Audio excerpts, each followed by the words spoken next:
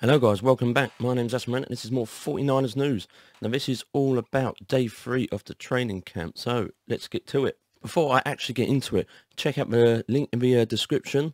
Um, if there's a video out that I've done, it's basically telling me what I'm doing on the preseason and regular season on the uh, NFL. So keep an eye on, uh, keep an eye out for that as well.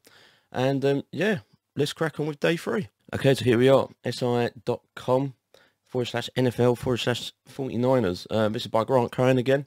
Um, I love watching his content. Check him out on YouTube. He was there for all the um, training camp days and everything. And this is day three. Analysing the best and worst performances from day three of the 49ers training camp. So here we go.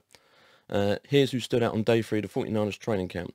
Keep in mind the team did uh, did no one-on-one drills or seven-on-seven drills. Instead, they warmed up and did lots of special teams and on 11-on-11 team drills. So you go. The good. Number one, wide receiver, Deebo Samuel. Uh, caught another 60-yard touchdown pass from Trey Lance. This was Samuel's second long touchdown grab of camp, and we're only on day three. So far, Samuel's been the best player on the 49ers offense, and uh, isn't and hasn't been close. He's in the best shape of his career, so that's good. Next up, number two, wide receiver, punt returner, Brandon Aiyuk. Didn't catch any passes during team drills, but did practice punting, uh, return punting, which is great news, because Aiyuk is the best punt returner on the team. The 49ers need to let him return punts the way Arizona State let him. After practice, uh, Aiyuk said he wants to return punts and is working to prove to, to the coaching staff that he's ready. Good for him. Number three, running back, Eli Mitchell. Uh, the only running back on the team who had any success today. Uh, the other running backs kept trying unsuccessfully to run around the outside. Mitchell was the only runner who consistently ran between the tackles and gained yards. Look for him to be uh, effective into Russia. Okay.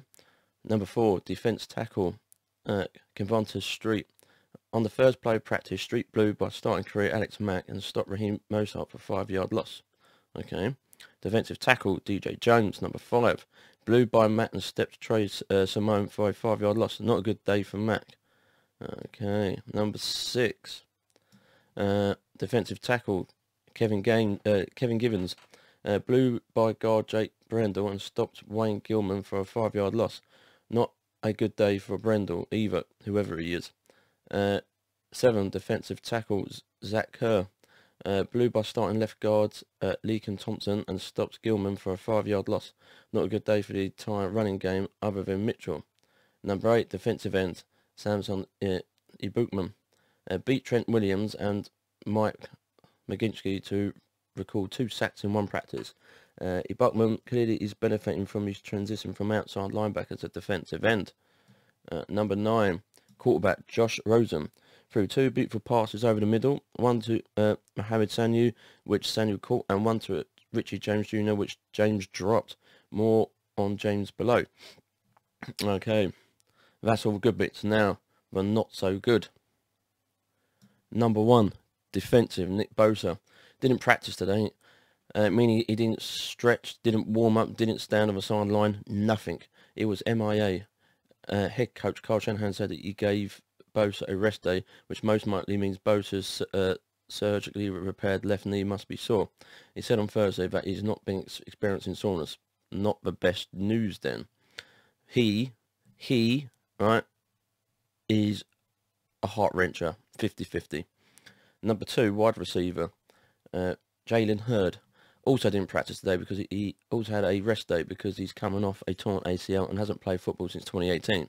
This guy is the new uh, Jay, um, Jay McC uh, McKinnon on the 49ers. He couldn't stay healthy. This ain't good. Tight end MyCole Pruitt uh, missed practice with a calf injury. Pruitt is the first player to get injured on training camp. Oh my god. Um, defensive tackle Hurst. Uh, Hurst missed practice with an ankle injury. Hurst is the second player to get injured in a training camp. Tight end George Kittle. Uh, Kittle just caught one pass and committed a holding penalty, which uh, neglected a nice long run by Mostert. Kittle has been quite unkittle in training camp so far. Well, that's a first. Six wide receiver, Richie James Jr. dropped both passes that came his way. He seems to have a real problem holding the, uh, the velocity on Trey Lance's passes, which means James may not last long on the 49ers roster because Lance is the future, possibility the present. Okay, number seven, quarterback um, Nate Sudfeld missed all three of his passes attempts today. Wasted everyone's time. Should not be on the roster. Good grief. And there you have it. Um, am I worried? Yes. Um, for Bosa. I'm very worried for Bosa. It's not looking good for this guy. I mean, like what's going on? Seriously, Bosa should be. I know that he's had a tough injury. I know there's videos out there as well where he's practiced. Um, there's a practice where um, he's on his like uh, get ready start line and rush the bag, and he missed time that, so it ain't looking good for this guy at all. But we'll find out. Um, leave comments down below. Tell me what you think um, of any of it, especially Bosa. Let me know how you think of him. Um, other than that, that's it, guys. Um, thank you very much for the 40 subscribers. Really fortunate, humble, and appreciate that you subscribe. And if you're new, subscribe. So we're doing a lot more 49ers news. I've got uh, the live upcoming streams as well for September regular season, and I've and pre-season I'll be doing the um, videos, the 40 minute ones as well, and other stuff as well. So uh, yeah, guys, thanks very much for watching, and I'll see you guys uh, on the next video.